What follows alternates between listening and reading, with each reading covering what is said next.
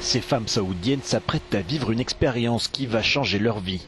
Se mettre au volant d'une voiture. En prévision de la légalisation de la conduite pour les femmes qui devrait intervenir au mois de juin, certaines ont décidé de prendre des leçons d'auto-école.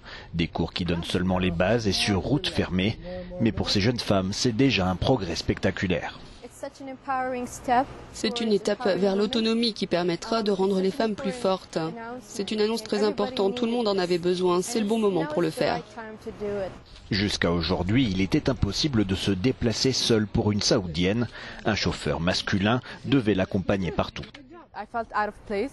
Je me suis sentie mal à l'aise, je ne m'étais jamais assise de ce côté de la voiture. Je m'assois toujours à l'arrière ou à droite. Mais ça fait du bien, on se sent en contrôle.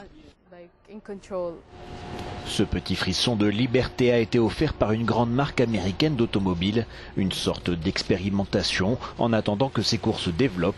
Plusieurs millions de femmes saoudiennes devraient apprendre à conduire dans les années à venir.